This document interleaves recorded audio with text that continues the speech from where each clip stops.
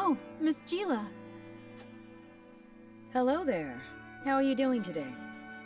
We're doing just fine as always. Mm-hmm. We got all the salt we need here. Life's never been better. We couldn't be happier with House Wolffort, to tell the truth. It pleases me to hear you say so.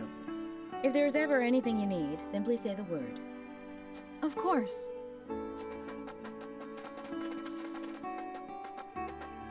By the way, did you hear about that odd sect? You mean the nun going around spouting all that nonsense? What was it again? The teachings of Centralia? Ugh, That's the one. I heard she's been talking about an endless salt saltmere, claiming it to be part of Norzelia's true history. yeah, she's telling anyone who'll listen. Truth be told, I saw her the other day.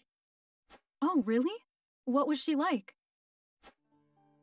Well, she didn't have any hair, but she was still a beauty.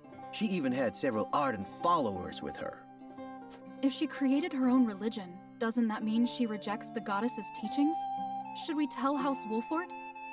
There's no need for that. No sane person will believe that madness anyway. When I passed by, everyone around threw rocks to chase her away. But you said she had followers, which means there are still people who think that nonsense is true. Haha, you worry too much. No matter what happens, the goddess will always protect us.